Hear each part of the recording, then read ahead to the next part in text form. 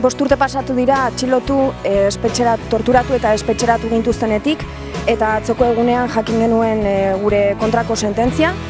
eta izan zen e, atxiloketak egon zirelako, gure kideak e, sabat, e, bergoi, ainoa eta marina atxilotuak izan ziren, eta ondotik jakin genuen ba, zazpi kondenatuak e, izango zirela, bueno, izan direla, eta honen aurrean, bueno, guk dena den ez diogu inolako legitimidaderik ematen audientzia nazionalaren e, epaiari.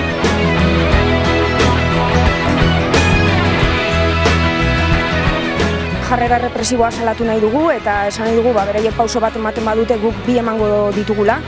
E, nahi izan dute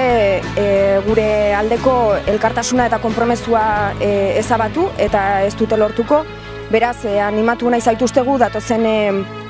asteetan, e, bueno, atozen asteburuan e, deitu dugun e, mobilizazioetan parte hartzeko eta urrengo egunetan joango gara zabaltzen e, deialdi zehatzagoak eta hori animatzen zaituzteko zaituztegu guztiok e, deialdi hauetan parte hartzera.